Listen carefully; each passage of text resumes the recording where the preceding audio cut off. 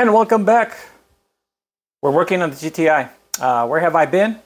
Been working on the GTI. I haven't been making any film on the GTI just today because I'm doing a very special project on it that I think a lot of people are doing wrong and, and it's probably something that you guys want to know because it is a repair that applies to every single car on the market right now. They all have polymer gas tanks, plastic, or should I say Teflon plastic gas tanks, okay? I say Teflon because nothing will stick to it. No JB Weld, no steel epoxy. It will not stick to these Teflon base uh, gas tanks, okay? They, they'll just flake right off. Case in point, look at this thing just flaked right off. You can see where the cracks were right there. You can see one right there. And there's the other crack right there. And basically, after like 24 hours of driving, this thing just flaked right off. It, it, it will not stick, even if you sand it and everything, which I did. It did. It does not work. So those gas tanks are like $300 on eBay, and I wasn't about to spend $300 on eBay. More like $400. Um, I'm crazy, but I'm not that stupid. So I, you know, I went on YouTube to see how they fix them, and uh, a lot of people are using they're using JB Weld. They're using steel epoxy, which, which this is. I used JB Weld first, and it only lasted like half a day, and it flaked off. Then I used steel epoxy, which is this is it, uh, steel epoxy, and it flaked right off also. So it's Teflon. Basically, it's Teflon plastic. It's not going to stick. So the only way to fix it is using one of these. Is basically using a Teflon plastic, or should I say PTFE uh, plastic. This is the same thing as these plastic tanks or oil things. Okay, so yeah, the same thing. The thing, the difference is that this is specifically engineered for uh, a gas tank. See, it's got reinforcement back here. I don't know if this comes off or what the hell this is. I need to read the instruction first. But this is very, very flexible, very rubbery. And basically it gets installed with this these chemicals. Uh, some of it is chemicals and the other one's an activator. And basically they get like super duper hot and basically melts this plastic to the gas tank and the gas tank to this plastic. So you have a bond from both sides and making it into a permanent uh, fix. Yeah, what they're doing, a lot of the guys are using uh, basically a soldering iron to fix it. The problem is if it's a fatigue crack, that's going to crack right there again within you know days, weeks, months, maybe a year or two, but it will crack from there because it's a fatigue crack. So it's going to continue to fatigue in that area because of the you know the the flexing and you know all that fuel in there, flexing the whole gas tank. Not only that, the, the pressure that builds up in there, you know, it's a flex thing. So eventually they will crack in the same location. So um, this is for like if you're running around and you made a hole on your gas tank. Okay, this is a good way to fix it because that's not a flex point. Okay, where you made the hole uh, with whatever debris you did. But a flex point, a flex crack, you don't, don't, no, no, bad idea. So JB Weld and that, bad idea for me, for me because where it cracked, it's a flex point. So this is the correct way of fixing it.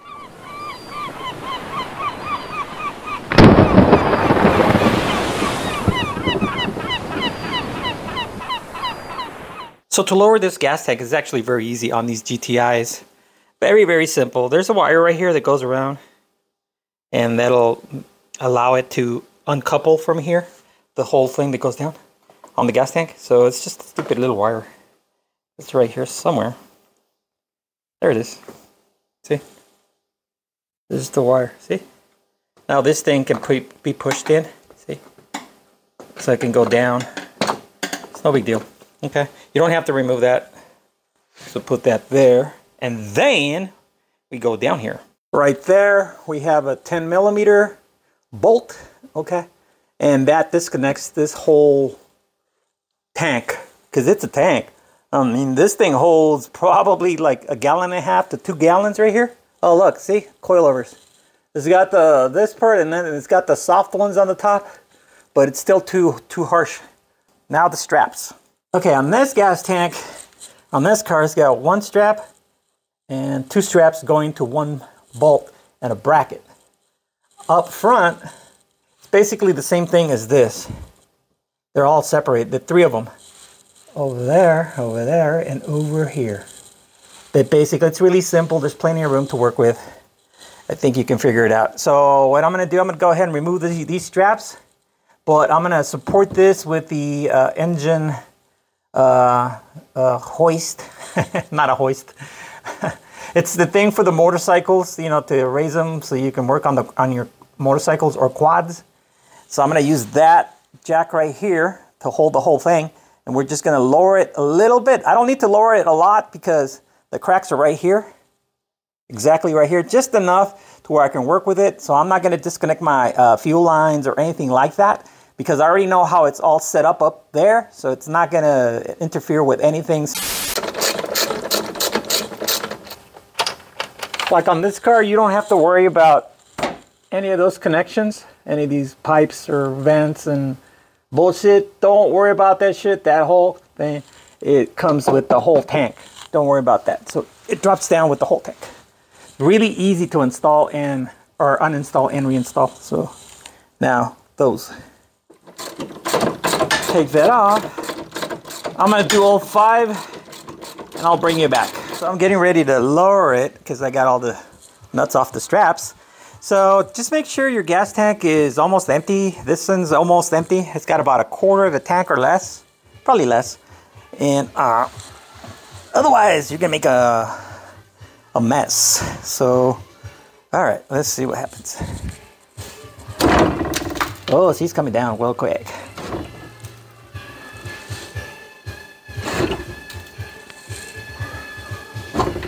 That's about it. I don't need to go any lower than that. I just need a needed access in this area. In this area right here. This is where the cracks are. Just so I can show you crack, crack, and there's a crack that, that inter intersects with this one like a T. It goes up and up like that to there. You can see how the weeping, see, you see that? Okay, that's why it looks like this. Because it's been doing this for many, many years or decades. Probably decades. So I'm gonna go ahead and resand everything and uh, we'll, we'll see how this shit's gonna fit. Okay, all done. Uh, I had to uh,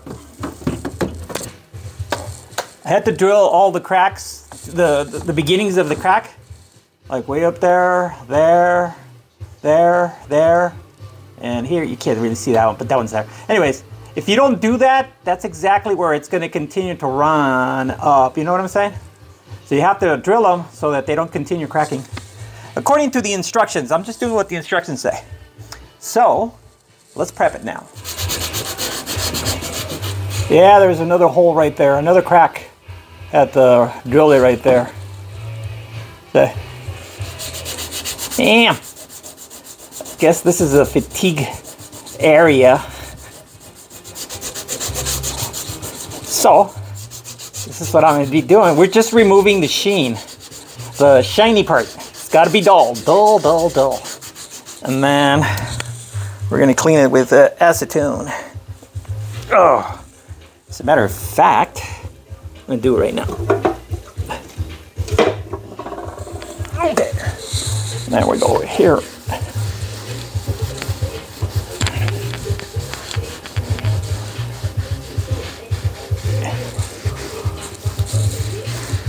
Okay, I think, I think that's it. Holy shit. Okay, so I'm probably gonna go a little bit lower here, just in case.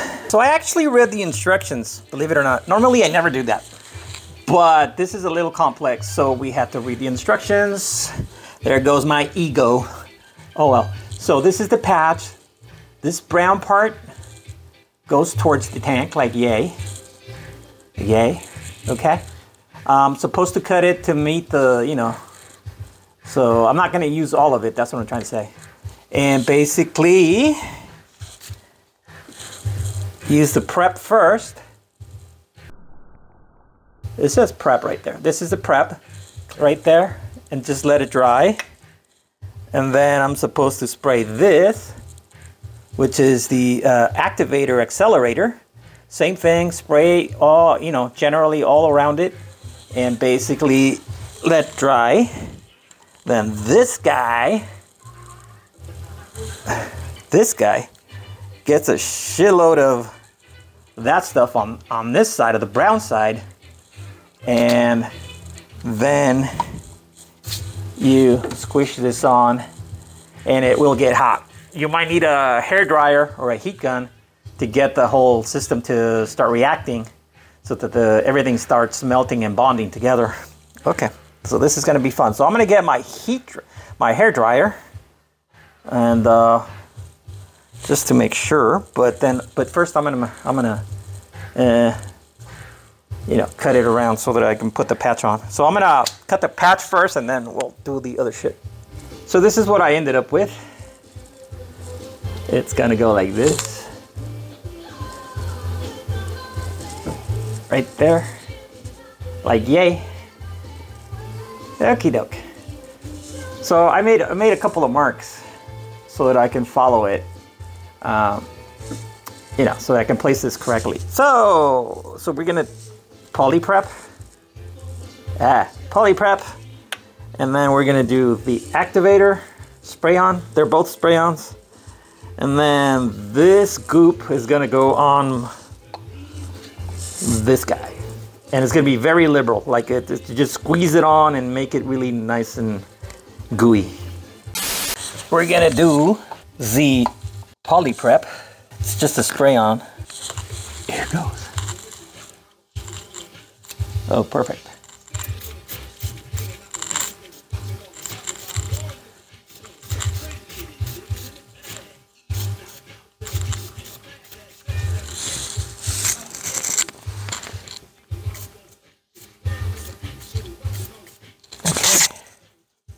So let dry.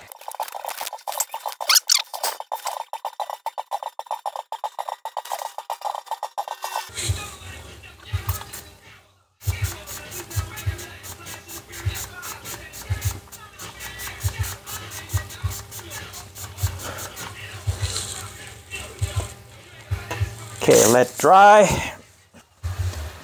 And then prep this guy with the uh, SI Blue, we're gonna put this shit full of that stuff.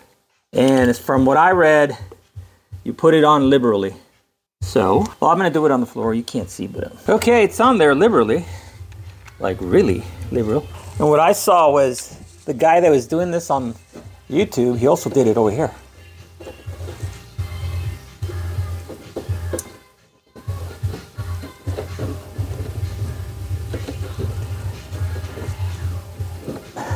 the instructions doesn't say to do this.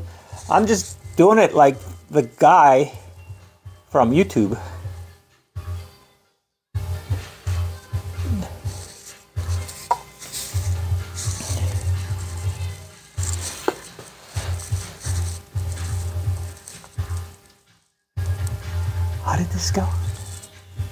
Oh, dear God.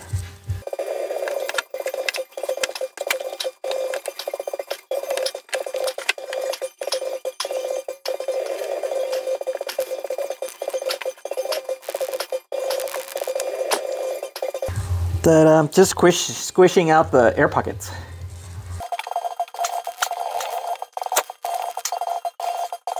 This shit sticks. I will say that. Okay. So I feel like there's there's heat there, but I'm gonna still hit it with this shit.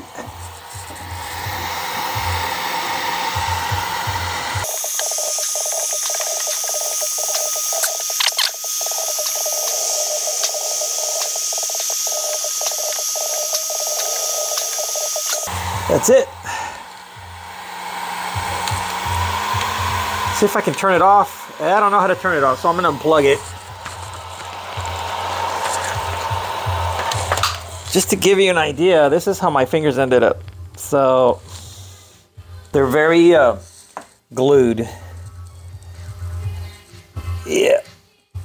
See? glued. Um, Oh, this is gonna be a mother to take off. Okay, now, the instructions say that we have to do a perimeter with this guy. The, the stuff that we did liberally on the patch. Like, we have to do a perimeter right here.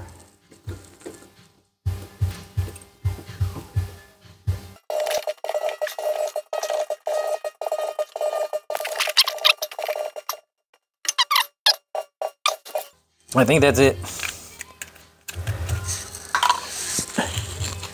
I'm gonna spray some activator. It's all plugged up now.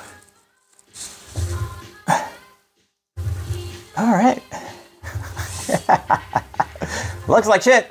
I don't give a shit. As long as it plugs up, we're good. All right. So we're gonna let that dry. And once the heat is out of there, once it goes to a room temperature, it should uh, be ready to bolt up the tank.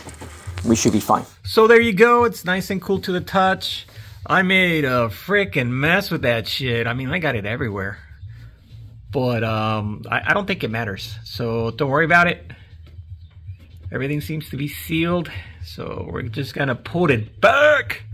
And uh, we're to add some gas and see if it leaks. It, it, shouldn't leak. This is the correct way to fix this. My problem, like I said, look at it's got a one of these humps. It's got to turn this way and a twist this way. And it's, it's, it's just really hard to get these wrinkles out. Although I pressed as hard as I could right here, it would not go down anymore. It felt solid. Like whatever was in here turned into a solid uh, ball of goop.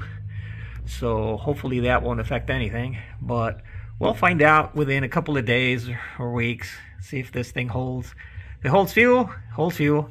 If it doesn't, I guess I'll just go get a 300 and no, it's actually like almost $400 gas tank on eBay for a used one. I was like, what the fuck? So I might have to do that, but I don't think so. I have, I have a feeling that this is going to be successful.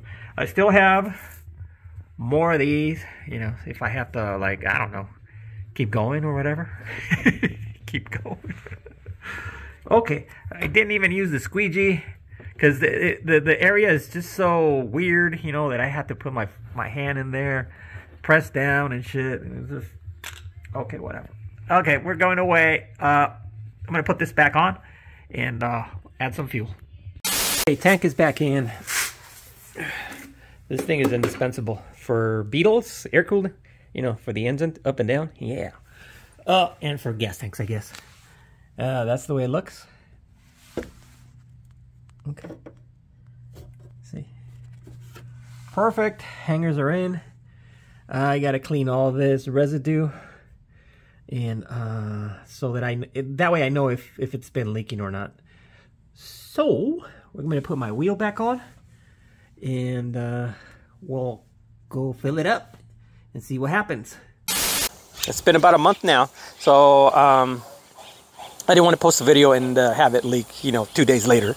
And uh, so it's been about a month. Uh, driven into LA and everywhere to work and shit like that. And uh, this is this is has become my daily driver temporarily.